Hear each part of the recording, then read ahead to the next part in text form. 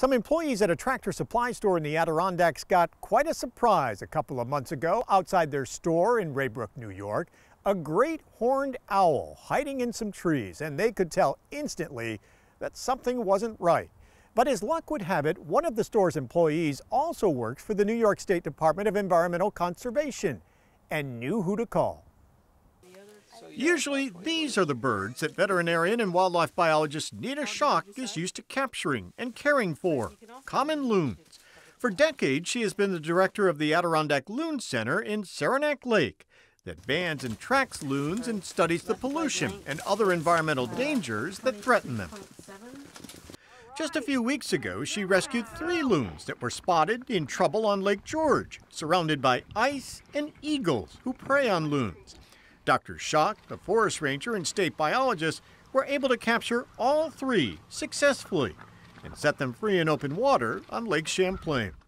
But Nina Schoch says it's not uncommon for her to get calls about other birds and wildlife, which she did a couple of months ago from the folks here at the Tractor Supply store in Ray Brook.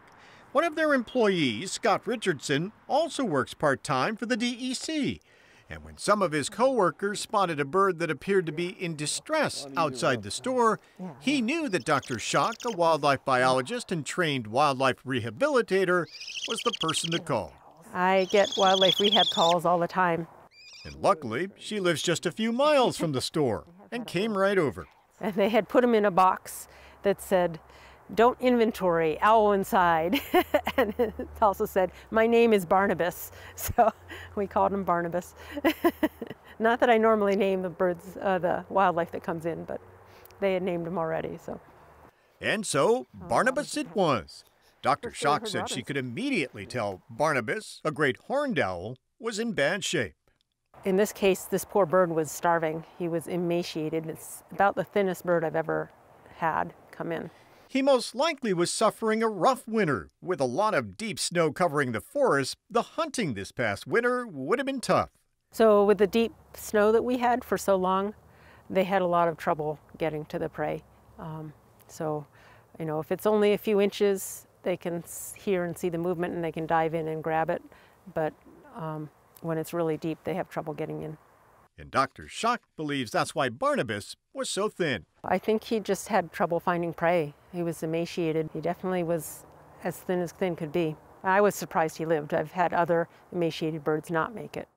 But under Dr. Schoch's care, Barnabas survived.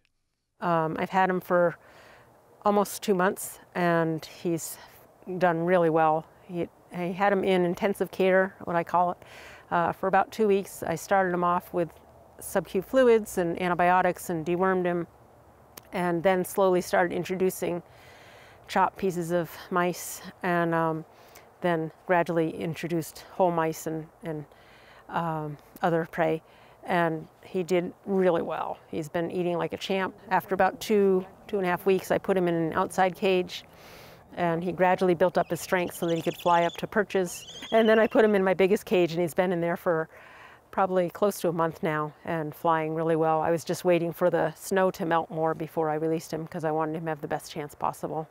And so when Dr. Schoch brought Barnabas back to the store a couple of weeks ago, he was looking much better and healthier. So cool. as he was reunited with some of the employees who had saved his life.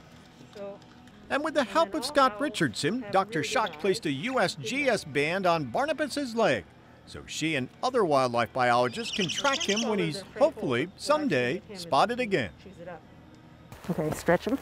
And after giving him a final checkup, they headed back outdoors to the edge of the store's parking lot to send Barnabas on his way. There he goes. Bye.